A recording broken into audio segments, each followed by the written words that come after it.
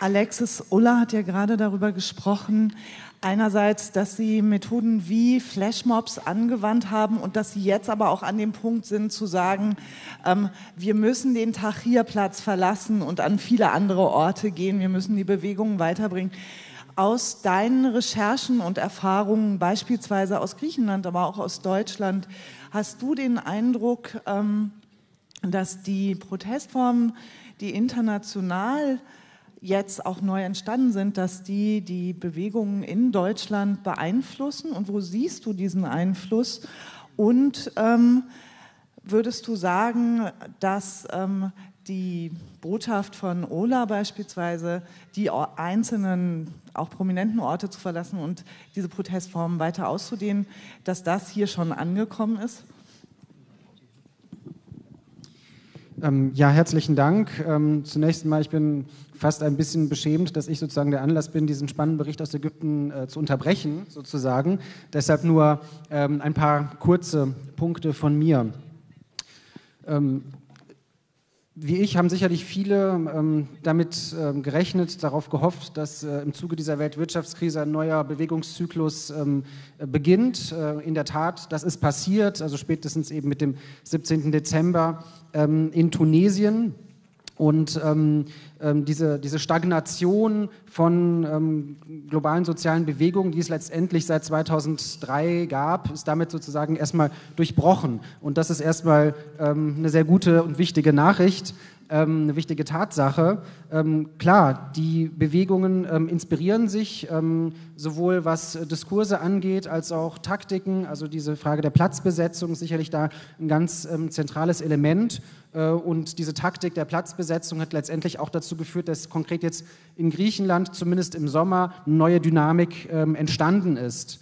Ähm, während ähm, das vorher so war und das sicherlich im Wesentlichen auch immer so ist, dass die Proteste in Griechenland sehr zersplittert sind, ähm, dass es ähm, äh, wenig Koordinierung gibt, ähm, dass viele Akteure, die protestieren, sich gegenseitig aber auch nicht anerkennen, weil sie sehr unterschiedliche Agenden fahren, ähm, hat die Platzbesetzung auf dem Syntagma-Platz im Juni als Reaktion unmittelbar auf das, was in Spanien passiert ist, erstmal dazu geführt, dass es eine neue Dynamik gibt.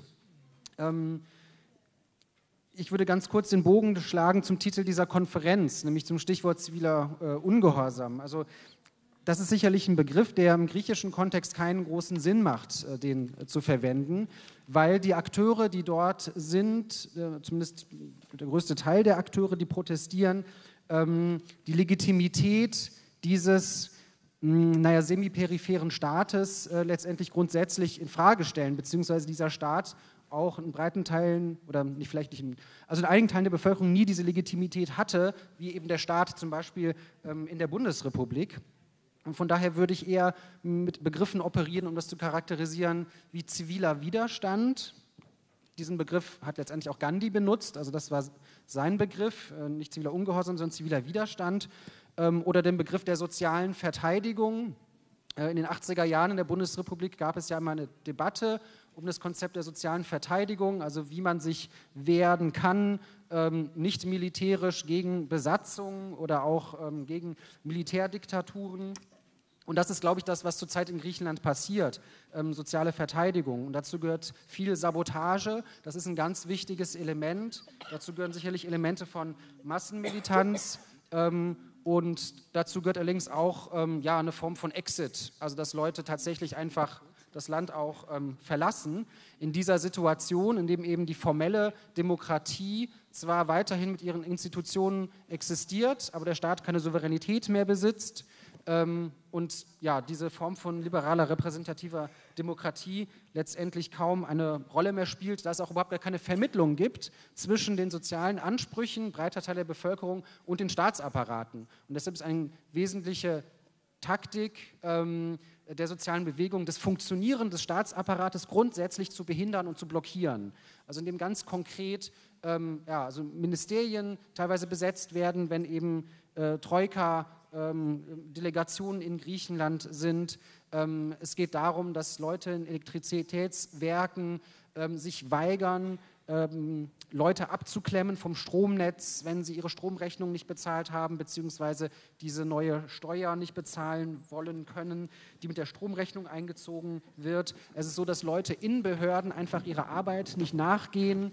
Ähm, es ist so, dass ähm, Maut äh, nicht bezahlt wird von den Leuten, dass Fahrpreise nicht bezahlt werden ähm, und tatsächlich der Versuch, das abzuwehren, was der Staat ähm, den Menschen dort ähm, auferlegt. Also von daher spielt dieser Begriff äh, so ziviler Ungehorsam da keine wirkliche Rolle. Man kann das damit nicht fassen, was da passiert. Ähm, wie gesagt, eine zentrale Taktik war eben ähm, die Besetzung des Syntagmaplatzes, also das vieles dynamisiert. Ich würde ganz gerne noch zu einem zweiten Punkt kommen, was zumindest in einem Teil der Länder, die sich in diesem Bewegungszyklus befunden haben, gemeinsam ist. Und das ist eine bestimmte Form eines, ähm, eines Diskurses, eines radikalen Humanismus, ähm, der, denke ich, diesen Bewegungen zu eigen ist. Also ich finde, man kann das sehr deutlich in Spanien erkennen, ähm, aber auch in Israel zum Beispiel, ähm, aber auch in Deutschland und teilweise, denke ich, auch in den USA.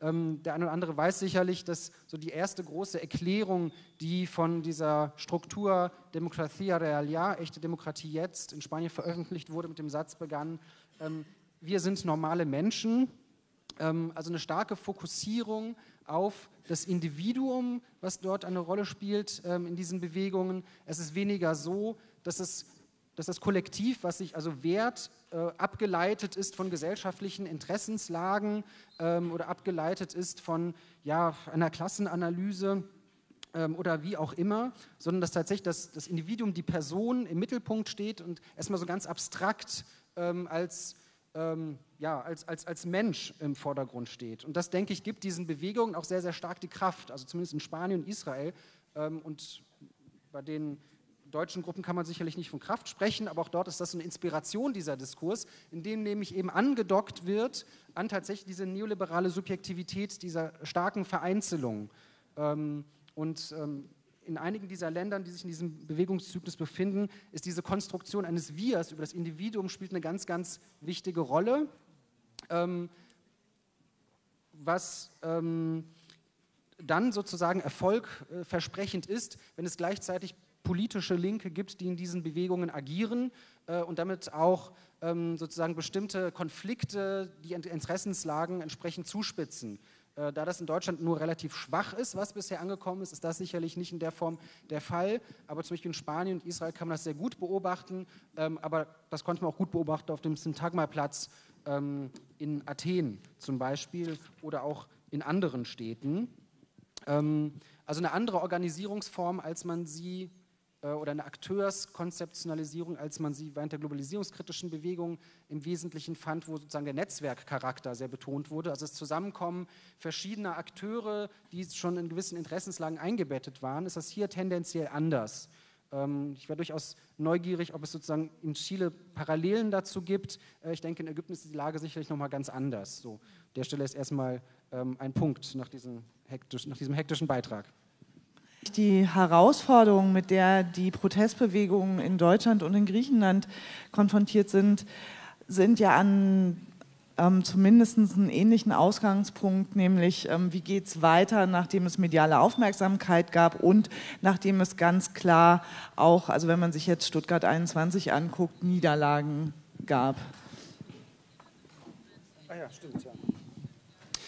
Ähm, ja, zu Griechenland ähm, lautet meine Antwort, dass ich es nicht weiß, wie es weitergeht. Ähm, die Leute, mit denen ich spreche zurzeit, ähm, ja, haben keine klare Strategie. Ähm, für viele ist die, die Situation sehr deprimierend. Ähm, die existenziellen Herausforderungen werden immer größer für die Leute, weil sie eben Jobs verlieren, weil ähm, Einkommensquellen, die man noch irgendwie hatte, versiegen viele verlassen einfach das Land äh, und gehen weg, also insbesondere nach Deutschland, Australien, Kanada, äh, teilweise auch Großbritannien.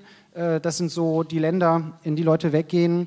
Ähm, die Situation ist ähm, schwierig und ähm, ähm sehr unklar, wie es weitergeht. Klar ist, dass immer wenn ähm, Delegationen der Troika im Land sind, dass es verstärkt Proteste gibt.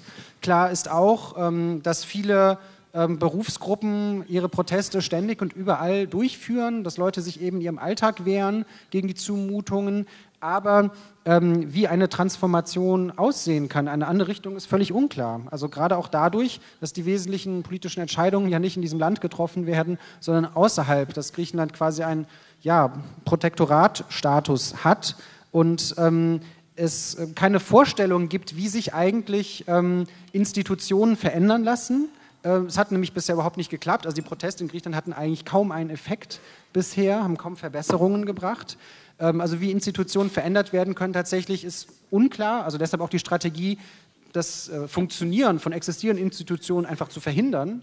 Ähm, aber es gibt auch keine klare Strategie, wie man eigene Institutionen entwickeln kann. Also die Gewerkschaften haben keine hohe Legitimität in Griechenland. Sie sind sehr berufsständisch orientiert. Die, äh, das Parteiensystem hat auch ja, massiv an Legitimität verloren. Ähm, das betrifft auch ähm, linke Parteien. Ähm, und ähm, ja, die Situation ist sehr unklar und ähm, nicht sehr hoffnungsmachend zurzeit.